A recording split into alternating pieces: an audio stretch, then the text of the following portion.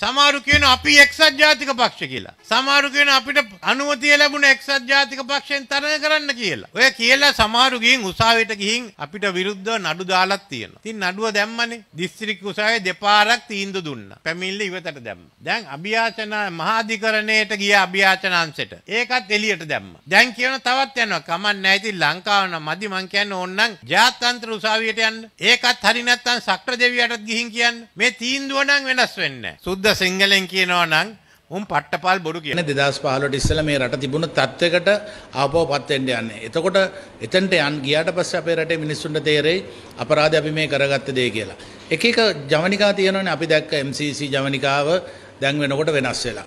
Cricket ක්‍රීඩකයන් තරඟ පාවා දෙනවා කියන එක ඒව අද කවුරුත් නැහැ. කරුණාම්මාන් ගැන කිව්වා ඒවත් දැන් ඔක්කොම වැහිලා. මේ කොරෝනා වසංගතය ඇවිල්ලා. දෙවෙනි මෙහෙයුමක් එනවලු මේකේ. දෙවෙනි මොකද රැල්ල. දැන් දෙවෙනි රැල්ලට මූණ දෙන්න රජයේ සූදානම් වෙන්න එපා. දැන් වෙලා තියෙන්නේ මොකක්ද? ඇමතිතුමියට ඡන්දේ. වෙනදා නම් උදේ පාන්දර හැමදාම ලස්සන මූණ නේද? ටීවී එකේ පේනවා. සෞඛ්‍ය ගැන කියනවා එළියට බහින්න එපා. ගේ ඇතුළට වෙලාම ඉන්න. ලයිට් බිල ගෙවන්න යන්න එපා. අපි ගෙවන්නම්. ඕගොල්ලොන්ට තියෙන්නේ කාලා බීලා ගෙදරට වෙලා ඉන්න කියලා කිව්වා නේද? පළවෙනි රැල්ල එනකොට අපිත් හැමදාම දැක්කේ සෞඛ්‍ය ඇමතිතුමියගේ රැල්ල. ඉතින් ජනතාව කල්පනා කළා අනේ ෂෝක් පිං ඇති ඇමතිතුමිය ඇවිල්ලා කියනවා ලීසින් ගාස්තු ගෙවන්න යන්න එපා. පාරට බහින්න එපා. කොරෝනා බෝ වෙයි. දැන් මොකෝ කියන්නේ? දැන් දෙවෙනි රැල්ලේ සෞඛ්‍ය ඇමතිතුමිය හොයාගන්නත් නැහැ. දැන් රාජ්‍ය රාජ්‍ය සේවය අකල් බකල් වෙලා. ආණ්ඩුවක් දැන් මාස 8කට වැඩි ගමනක් යමින් තිබෙනවා. පොරොන්දු අමු අමුවේ කඩලා තියෙන්නේ.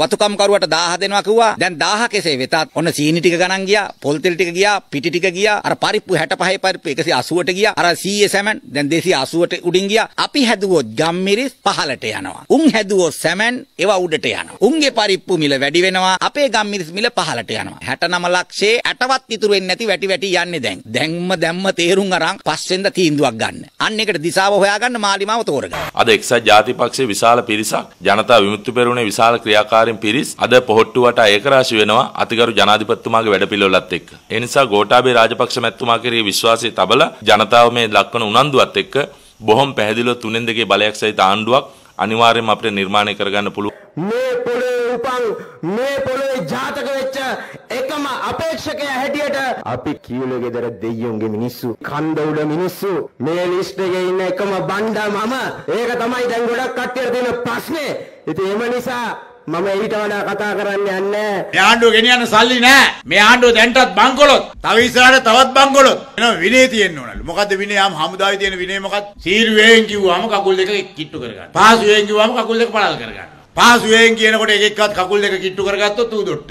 ඒකයි විනය කියන්නේ. එකෙක් කියනවා අනිත් ඔක්කොම ඒක කරනවා. එහෙම විනය සමාජය දෙන්න බෑ. බැසිල් මහත්තයා කියනවා අපේ අපනයන තේපොල් රබර් නැගලලු දැන් ආනයන වලට වඩා. ඇයි?